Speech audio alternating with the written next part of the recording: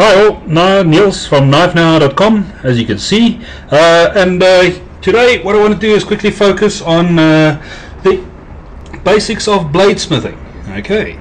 Now basically what it is uh, you've got a forge and uh, what you're going to do is you're going to heat up a piece of flat bar standard stock flat bar.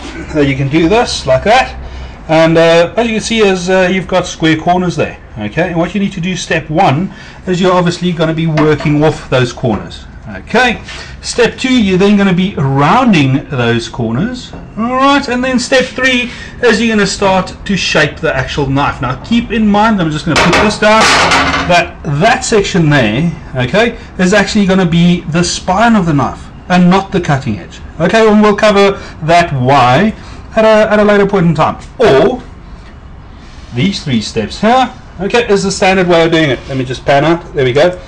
That's the standard way of doing it. Or, if you're a lazy as like me, you can actually just cut to the chase. Literally cut. What I do is I take an angle grinder, and uh, the die-harders out there might uh, disagree with me. But basically what I do is take an angle grinder, and uh, I cut. Take my piece of flat stock bar, I literally take an angle grinder, I cut off an edge there, and I cut an, or if off an edge there, and I then, then grind this down. And that gives me a quick start uh, to that, which is very damn close to uh, step number three. And I haven't heated the metal yet, I haven't screwed it up. And uh, there we go.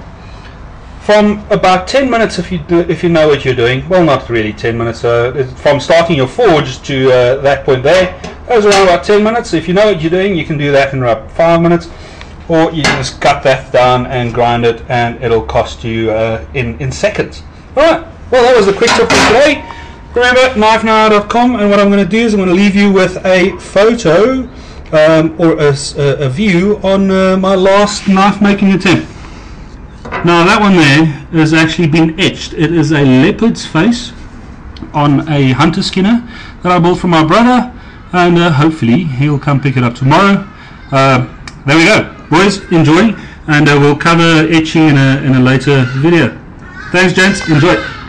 Remember, knifeknowhow.com. If you don't know, we might not know either, but at least we'll find out. Thanks. Cheers.